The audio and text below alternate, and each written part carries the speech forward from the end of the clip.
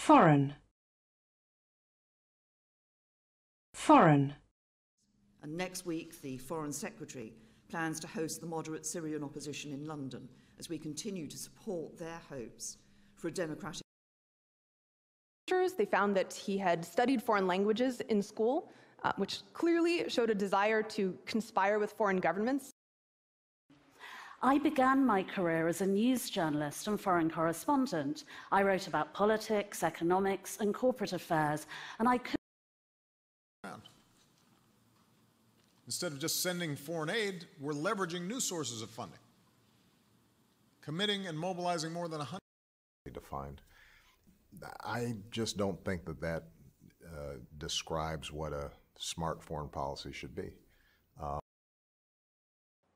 What many journalists do, both foreign and domestic, is very remarkable, especially in places like Afghanistan. And it's important that we never from some foreign country are heartbreaking. And it is obviously a cost cutting measure to be able to. Dollars more for foreign interventions bombs, rockets, drones, even troops. 20 million Americans who would